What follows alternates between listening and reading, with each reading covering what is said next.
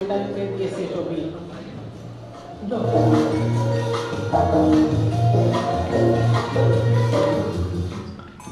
Bueno, aquí están respondiendo en tiempo real. Nos dice, a ver, Gregory por aquí.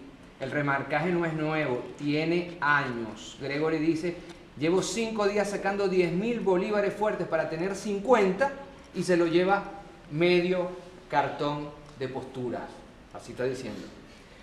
Eh, saludos desde Se Siempre en Sintonía. Por aquí nos dicen, vayan al mayorista de Valencia. Ahí están los guardias nacionales y no hacen nada. Cuidan a los comerciantes usureros. Revisar el Banco de Venezuela en, en Yanomol, frente al terminal, en Acarigua, que habrá ahí. Las panaderías siguen en lo mismo, no sacan el pan.